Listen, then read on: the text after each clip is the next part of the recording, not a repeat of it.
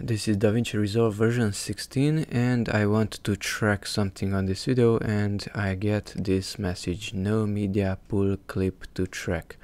So whenever I want to track forward or backward no media pool clip to track and it's not tracking. Okay so how to fix this problem? So I'm here on the color tab. Let's enable the clips so these clips are shown. And I have an adjustment layer also and the video itself that is visible here at edit. So we have the video and an adjustment clip. And if we go back to color the blur is not on the video but on the blank adjustment clip. And thus it cannot track it okay so we have to delete it from here and make it there.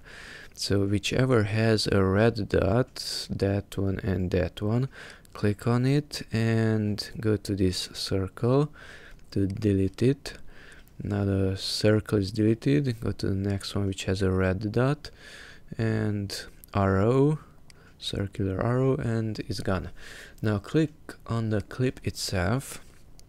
There go to window and add let's say a circle positioned where you want and go to this one and increase the radius of that blur as you like and then go to tracker. And now track forward is working starting forward tracking.